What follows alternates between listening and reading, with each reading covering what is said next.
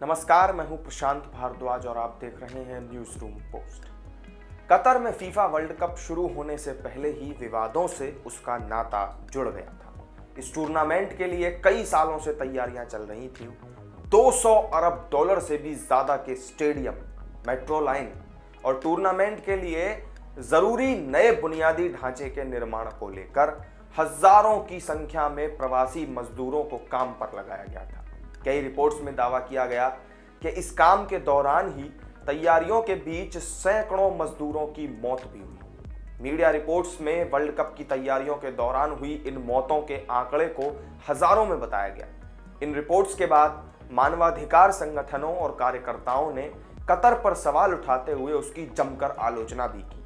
दुनिया के कई देशों ने भी मजदूरों के साथ हुई कतर की जाति की निंदा की। लेकिन अब पहली बार कतर के किसी सीनियर अधिकारी ने यह कबूल किया है कि मजदूरों की मौत को लेकर जो दावे किए जा रहे हैं, वो सही है। हालाँकि संख्या में अंतर ज़रूर है। फीफा वर्ल्ड कप की तैयारियों में कितने मजदूरों ने अपनी जान गंवाई, इसका भी एक आंकड़ा मिल ज़रूर गया।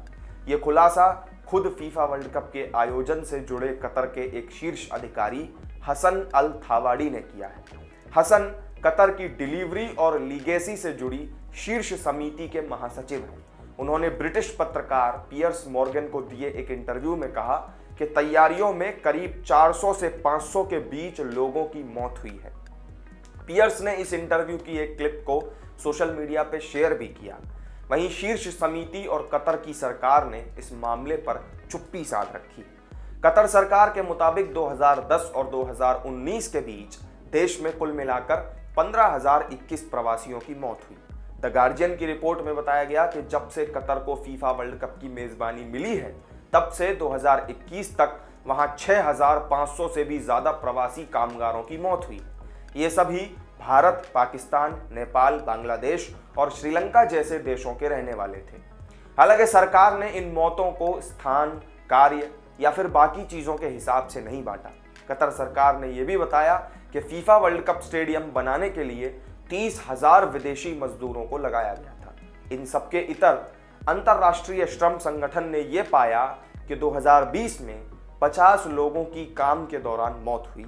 500 गंभीर रूप से घायल हुए और सैंतीस लोगों को हल्की से मध्यम चोटें आई थी। तो इस वीडियो में मेरे साथ फ़िलहाल इतना ही। फीफा वर्ल्ड कप की तैयारियों के दौरान अपनी जान गंवाने वाले मजदूरों की संख्या पर कतर के कबूलनामे को लेकर आपका क्या कहना है? कमेंट करके हमें ज़रूर बताएँ।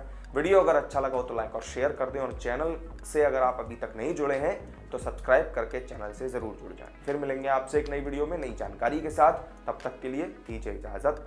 नमस्कार।